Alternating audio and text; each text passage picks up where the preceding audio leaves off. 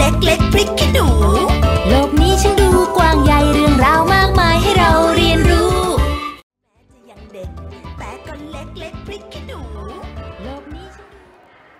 สวัสดีครับ ผมชื่อเปเป้ชื่อจริงชื่อว่าปานวิทย์เฉลิมศรีสุภาโรธครับ วันนี้อยู่ในข่าวข่าว เจ้าหน้าที่สวนสัตว์เมืองซีอาครับของจีนครับ เจ้าหน้าที่สวนสัตว์เมืองซีอานของจีนสับสภาพ คอกสัตว์ให้เหมาะกับสัตว์จากทวีปแอฟริกา เพื่อไม่ทรมานจากอากาศหนาวเย็น แพนด้ายักษ์สนุก สนาน ท่ามกลางหิมะ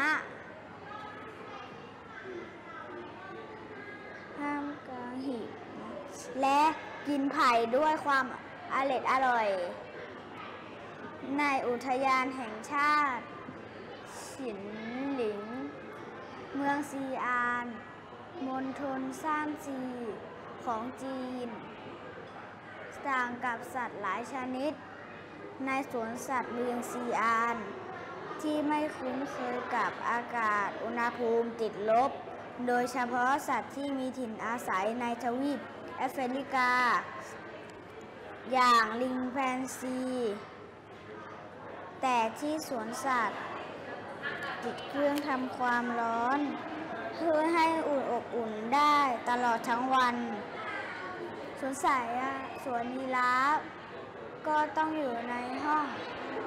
ปรับอุณหภูมิเช่นกัน ขณะที่เจ้าหน้าที่สวนสัตว์เมือง ติดตั้งน้ำพุร้อนให้นกฟลามิงโกและให้ขาของพวกมันแห้งเกินไปท่ามกลางอากาศหนาว นอกจากนี้ ฮิปโปโปเตมัส ก็ใช่อยู่น้ำที่อุบะอุณหภูมิ 21 องศาเซลเซียสเพื่อให้มันอุ่นสบายกำลังดี